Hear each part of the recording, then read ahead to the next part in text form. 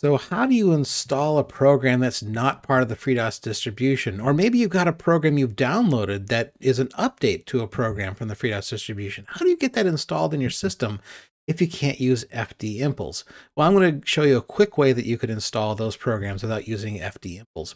So the great thing about FreeDOS, really like any DOS, is that DOS is very simple. There's no concept of like shared libraries or things like that you have on other operating systems like Linux or maybe Windows. Uh, and so that means that for the most part, paths aren't really a problem. So you can actually install stuff and put it really anywhere that you want. So over here, I've downloaded a copy of uh, the updated version of Edlin. So if I go into my temp directory, that's where I've got it you can see there's uh, Edlin 2.19. So thanks uh, Gregory Pietsch for uh, that new updated version of Edlin. And so if you if you see if I run the current version of Edlin on my system, uh, and that's the Edlin 16 for the 16-bit version, uh, you can see it's 2.18. Well, I want to install the new 2.19 version. How do I do that? Well, um, maybe you just want to do uh, FDIMPLES, right? So FDIMPLES to uh, maybe uh, install that package of uh, Edlin uh, 219, but oh, that's an invalid parameter. You can't actually do that. If you actually go into FDIMPLES, uh, you can see that there's no way to like install another package that was downloaded separately. And that's because what you've downloaded separately may or may not actually be a package. So if I get out of uh, FDIMPLES, let's actually look at what's inside this zip file. Well, I've got two files here. One is uh, Edlin uh, 219, and you can see that that one actually is the source code. So if I use unzip, so these package files are really just zip files. And actually, these aren't even package files. These are literally the zip files I downloaded off the website. If I do an unzip-l, to look at inside what's inside that zip file. So dash L is going to list the contents of my zip file. So Edlin 219, well, that's just a bunch of source code. That's actually the, literally the source code to Edlin 219. No, uh, no executable in that one. So uh, if you notice on the website, uh, I also compiled a version of Edlin 219, and that's in this uh, E-219exe. So if I do an unzip-L on that file, you can see that uh, I've got my edlin.exe and I also have the original make file. All right, so how do I get that installed on my system? Well, paths don't matter.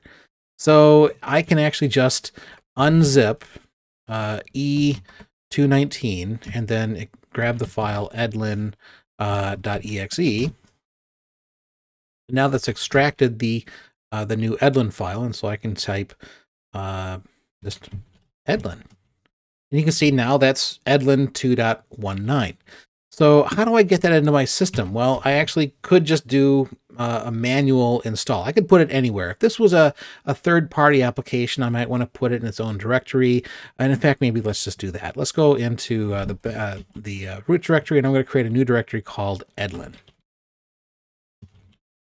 And all I'm going to do is I'm going to move uh, that uh, Edlin from the uh, temp directory. I'm going to put that in the Edlin directory. And so now if I go into the Edlin directory, and again, I just run Edlin, I'm running 2.19.